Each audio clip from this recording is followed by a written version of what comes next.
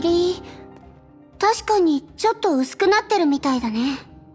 メイ先輩ブローニャ？四季の律者？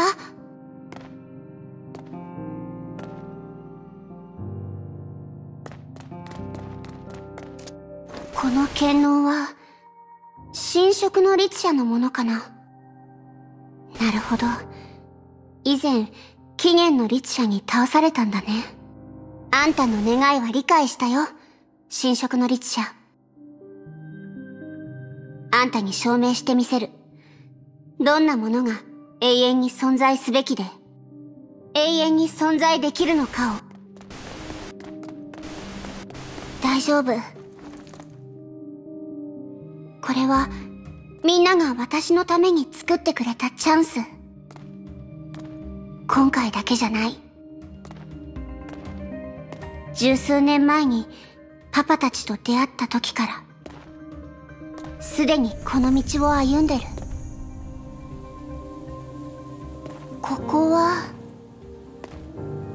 ここは、私たち三人が初めて律者を迎え撃った戦場。そして、悲劇の舞台でもあった。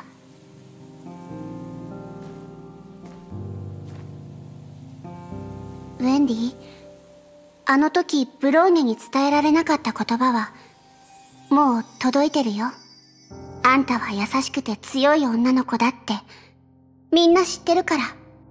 今こうしてるのは、みんなの幸せが、律者の力より、もっともっと大事だからだよ。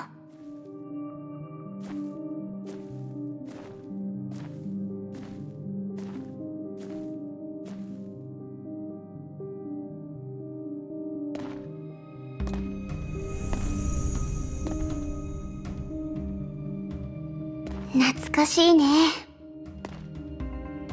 あんたのもの、だよね。説得できなかったけど、あの時、あんたは私に自分の選んだ道を歩くように言ってくれたよね。あんたは結果しか認めなかった。私は、それが全てじゃないって思ってるけど、確かに、結果にも大事な意味がある。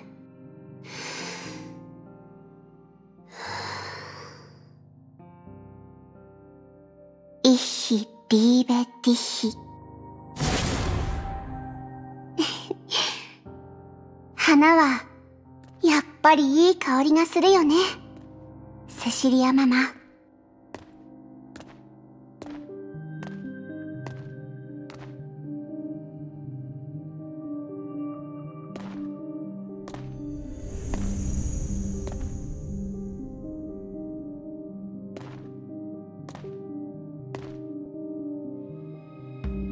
長空市。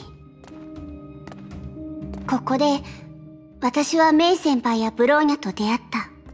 幸せなことも、悲しいことも、たくさんあった。すべてが終わったら、みんなと一緒に長空市に帰ってみよう。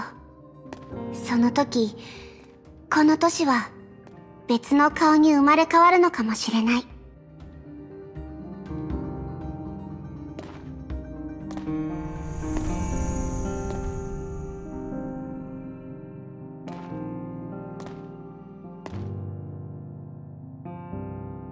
ここは、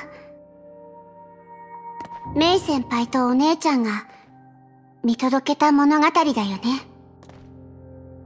運命のいたずらに翻弄された人たちに安らかな眠りを、たとえ悲劇が避けられないものだとしても、私たちはずっと戦い続けていく。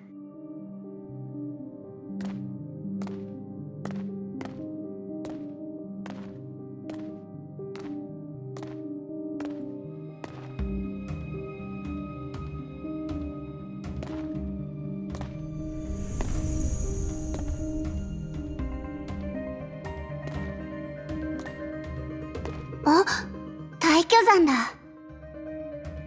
いろいろあったけど、四季の律者は、もうすっかり頼もしい仲間だよね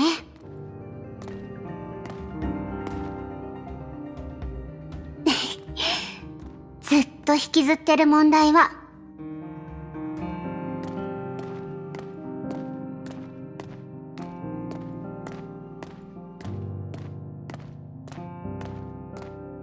もう答えを探す必要はないでしょ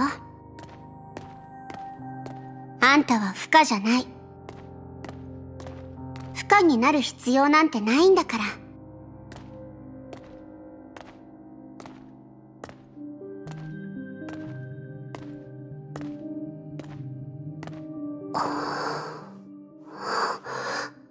この扉の裏は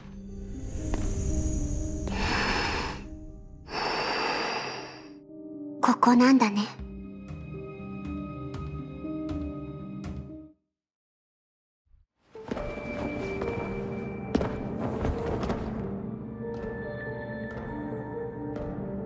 終焉の眉どんどん近くなっています。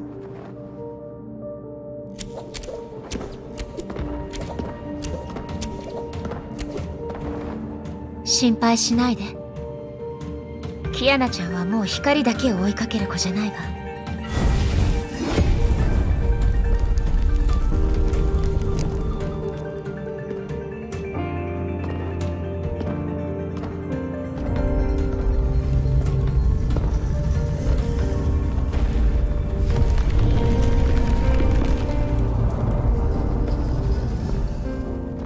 今のあなたは他人を照らす炎。耐えられない過去もあなたの力にしかなりません。